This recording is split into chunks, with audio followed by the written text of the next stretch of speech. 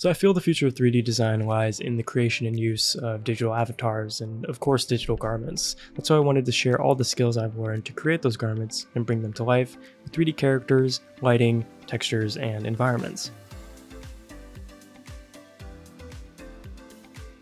Hi everyone, this is Bryant. I'm currently an art director at Future Deluxe, world-renowned creative studio with a focus on innovation for future-facing clients. I spent years in the industry at world-class studios, honing my craft creating 3D imagery for many different global brands.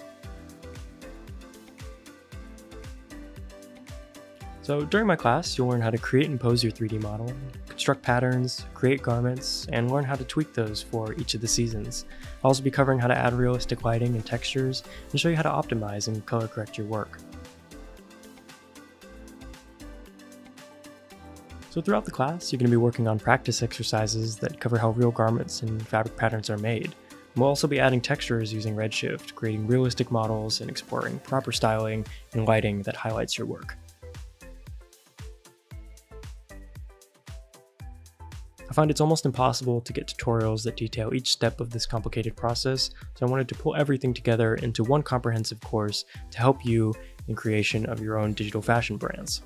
Marvelous Designer is unlike any other 3D software I've used, and I think it comes with a pretty steep learning curve, but I've helped develop this course so you can avoid the mistakes and frustrations that I've encountered. I'm going to be taking you through my entire process and giving you all the insights I've learned along the way.